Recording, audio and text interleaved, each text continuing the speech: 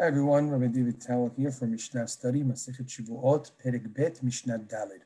At the end of the previous Mishnah, we talked about a mitzvah ta'aseh mikdash, a positive commandment uh, connected to the mikdash, which din would not be hayav um, if they made a ta'ut in hora'ah for someone who violated it. We said that if the bit din um, gave someone a heter to take the long exit from within the Beit HaMikdash if they became tameh in the Azara, um, because it's only a korban olevi yored, Bedin would not be obligated to bring par halim davar shel. There is also a lot ta'aseh case in reference of the Mikdash, which is found in Masechet Horayot, Perek Bet, Mishnah Daled, which is that the Bedin told somebody they can enter the Mikdash in a state of Tum'ah, again, because that's only Korban Olevi Yored, they would not be liable to bring par he'erim davar shel sibur. This is the mitzvah aseh and mitzvah lo ta'aseh connected to the mikdash that bedin do not have to bring par he'erim davar shel sibur.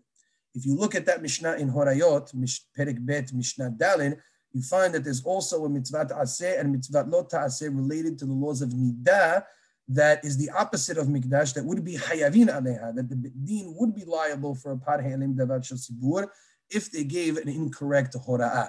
And so, piggybacking off of the previous Mishnah, our Mishnah goes off on a slight tangent from the concepts of Yidiot Tum'ah and discusses what is the mitzvah aseh, what is the positive commandment related to nidah that the bedin would be hayav par ha'elim davar shel sibur in the case of hora'ah beta'ut, which they are not liable for in the mitzvah aseh sheba mikdash for hora'ah beta'ut.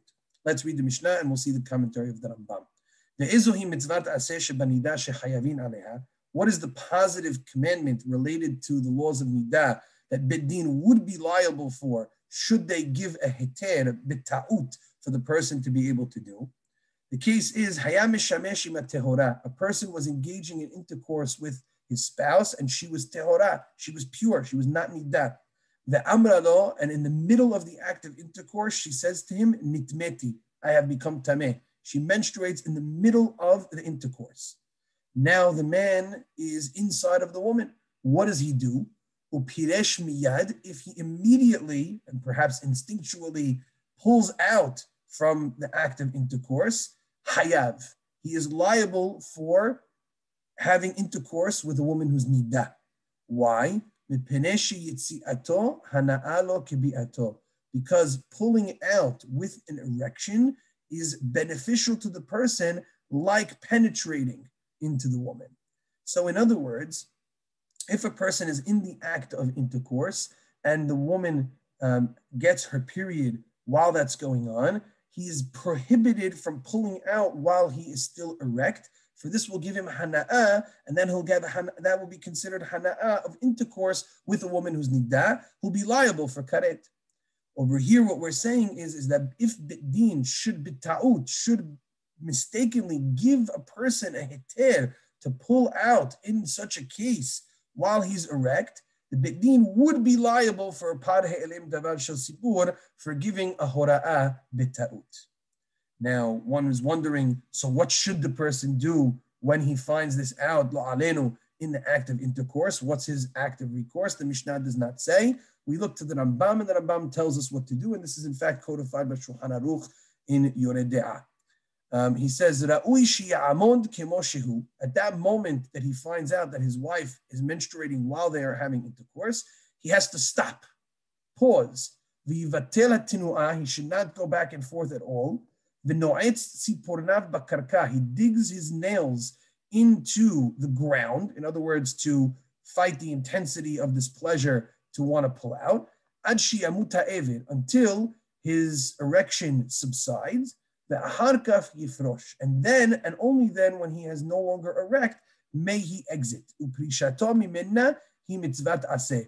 The exiting from the woman with and with uh, without being erect is a mitzvah aseh, is a positive commandment for him that he should do so without being erect.